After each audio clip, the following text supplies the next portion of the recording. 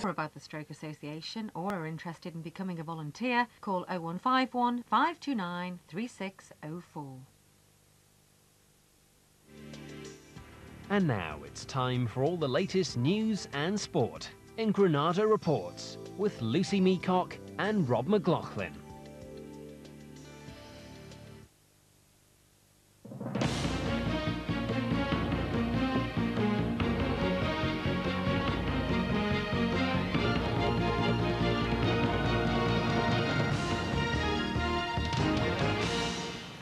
Welcome to the new look Granada Reports. The headlines tonight. Fears of a terrorist attack on Sellafield. We assess the implications. Why a young man from Burnley fought for the Taliban. His brother joins us live in the studio.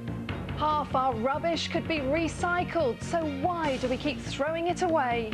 And send in the clowns, winning smiles from a winning team. There are claims that the Sellafield nuclear reprocessing plant could be top of the list of targets. Please let us know at Granada Reports at granadamedia.com. We'd love to hear from you.